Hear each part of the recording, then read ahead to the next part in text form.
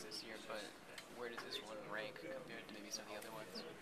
Man, to be honest with you, I think this this game was probably one of the biggest games, you know, of like the whole year. I mean, I felt like I feel like today, man, we, I think we beat we beat ourselves. To be honest with you, I mean, I give I give Tennessee they, they credit, but we beat ourselves. Tennessee didn't, didn't beat us. It was a lot of plays that we gave up on defense, big plays that they you know capitalized on and you know a lot of plays on offense. You know that, that fumble, you know, was, was big. You know in the, in the red zone, and it was just it was just little plays that they was making big on that that was hurting us. And you know I, I felt that you know overall that I felt like we, we played our hearts out, but it was just plays that, that the plays that we made mistakes on. You know they capitalized off of.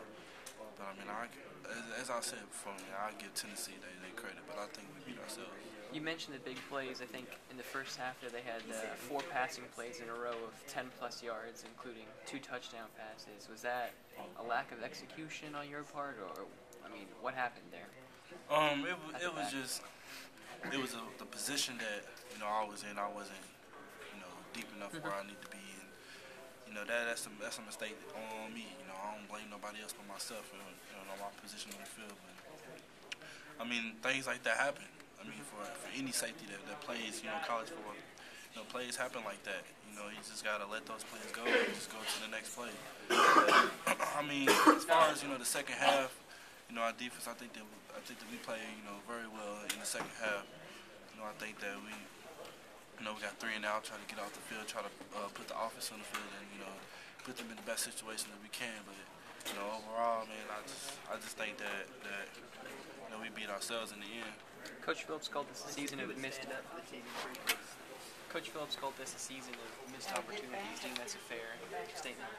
Yeah, yeah, he, he's right. I mean, I think that a lot of opportunities that we, we had this whole year, you know, we, we missed. I mean, we, we should have been, you know, Ole Miss, just Mississippi State. You know, it was just games that we been in in the last second in the crunch time where we needed big plays and plays that we needed to you know, put us ahead of our opponent, and just we didn't we didn't do it. So I mean that I I mean I guess overall our whole season, you know, was pretty good. I mean we could have done better, but I mean it is what it is. We just gotta you know see where we stand in the bowl and you know just come out with a win.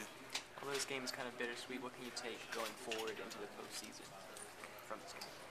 Um, just, just mistakes, man. We just we just gotta look what we did and just make sure everybody, you know, try to get healthy. You know, as far as me, you know, I got, you know, a little washed up in the game, but you know, everybody just got to get healthy. You know, just learn from our mistakes we what we did today.